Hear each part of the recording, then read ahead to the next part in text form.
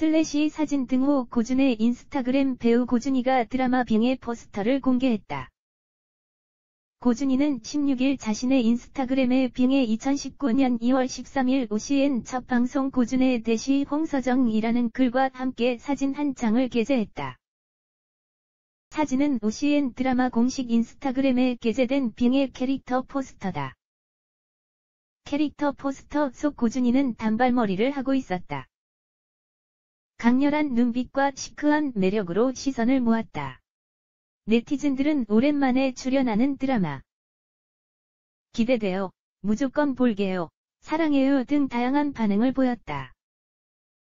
한편 고준이는 케이블 채널 OCN 수목 드라마 빙의에 출연해 송새벽과 호흡을 맞춘다.